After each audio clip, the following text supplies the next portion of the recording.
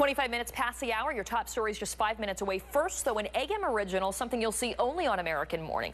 Since he took office, we've heard plenty of tough talk from the president when it comes to taking on terrorists. But there's a big difference between showing resolve and actually getting results. Pentagon correspondent Barbara Starr now with a memo to the president.